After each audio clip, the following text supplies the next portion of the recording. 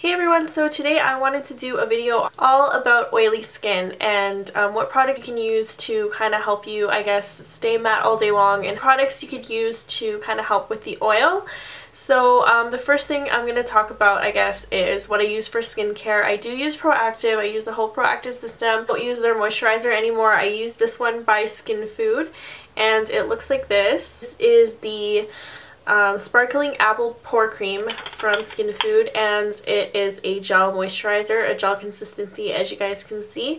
And um, what's really good for oily skin is um, a gel based moisturizer. You don't want anything with oil, with any added oil, anything like too thick. Obviously that can not only clog your pores but it's going to make your skin more oily and we do not want that. So in my experiences, um, a gel-based moisturizer has been the best bet for me. Um, I have tried Proactiv moisturizer before. I used to actually use the green tea one for I think three years. So that one is a more of like a cream slash ointment consistency, not like this. It is actually very light as well and it did work really well for me, but I wanted something to help kind of minimize my pores a little bit because those of us with oily skin can kind of have um, large pores. Um, I have really large pores like around this area and um, so this definitely really helps with that. It's meant to be like a pore refining moisturizer so it does like dual things and not only moisturizes my skin but it helps um, kind of minimize my pores a little bit. So that's that. So that's just about my skincare routine. Um, I might do a whole video on it. We'll see.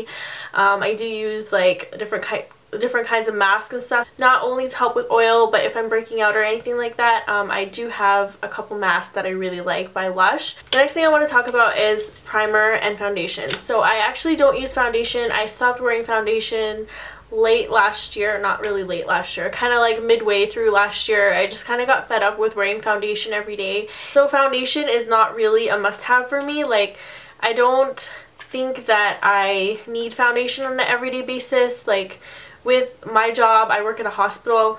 I don't really need to wear, you know, I don't need a whole lot of coverage and I don't need to wear foundation kind of every day. And that can kind of bring me out a little bit. So in my opinion, foundation, especially this type of foundation, which is like a um, almost full coverage foundation, is meant for like really like special occasions or stuff like that or for filming or whatever, but I actually don't use foundation anymore. But I just wanted to mention this because I know a lot of you do wear foundation on an everyday basis.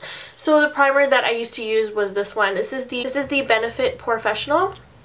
This was awesome at keeping my skin matte. It has kind of a thick consistency a little bit, but it did its job. And it is a pore refining primer so it does definitely help with um, large pores. So this is actually a tiny little sample that I got in a Topbox I think in the month of September. But yeah that's a really really great product. Um, I've tried different kinds of primer before. I used to use the Makeup Forever primer. I used to use um, the Benefit one as well. And not um, not this Benefit one, but the, I don't know what it was called. It was, it smelled like strawberries and it was like a pink primer. That was okay. If you want something that's definitely going to keep you matte, the Porefessional is a really good one. Um, and the foundation that I used to wear was this one. Previous to this one, I actually used the Makeup Forever HD, which um, was not a matte foundation. But um, I did really like this when I used to use it. So it has this kind of applicator. It's just like a squeezy applicator. So it looks like that. Um, and this is a completely matte foundation. It's the Makeup Forever Matte, Makeup Forever Matte Velvet Plus. So there it is, all at the back of my hand blended in. It did provide a really awesome finish. Um, it kept me matte for most of the day. I did have to blot a few times, but it it is really beautiful foundation if you're looking for a foundation.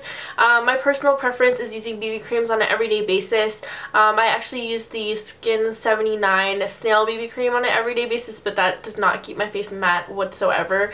Um, I will have to blot like at least twice throughout the day, which is not like too bad, but but um, if you guys want a, a BB cream that has really good coverage, almost like a foundation, and will keep your skin pretty matte, it does um, apply matte, and um, I do still have to blot with this on, but not as often at all. It does it doesn't really make my skin that oily.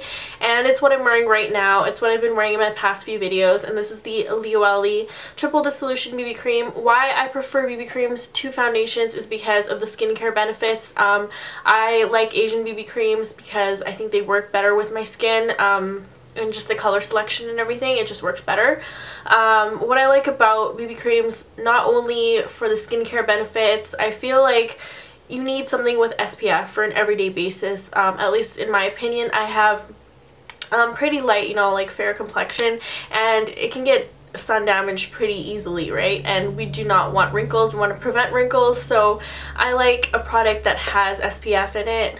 Um, and I don't like sunscreens because that makes my skin oily. I'd rather just have it in one place, so BB creams are my personal preference. So this one is a another pump applicator or the other one was a squeezy tube never mind. But this is a pump applicator. As you can see the other one is on my hand right there. Um, I'm just gonna pump a little bit out. I actually use this with a brush but um, it looks like that. It kind of has like a gray consistency at first and then it like completely blends into your skin tone. And um, if you compare the two on my hand like the Makeup Forever one is up here and then the Lioele one is down there. They're both pretty matte and I do really like the finish of that as well. I don't personally use that on an everyday basis just because it's a little bit thicker. It feels more like a foundation in my opinion but yeah it does it does a really good job. And as well as, as concealer, I do have a matte concealer. This one is by Laura Geller and this is the Real Deal Concealer. Um, and it looks like that. What I like about this is if you have oily skin, you know, you're more prone to breakouts, um, like redness or what, whatever. Helps so much. Seriously it is a full coverage concealer and a little bit goes a long way. Trust me like I wasted so much of this because like I would put I just put it on my hand and apply it. And honestly like it's a flawless finish. I actually got this on HauteLook for not that much. I think it came in a set with something else, but I do really like this concealer and I highly recommend it if you have oily skin. And as you can see, the BB cream kind of like blended in, but yeah.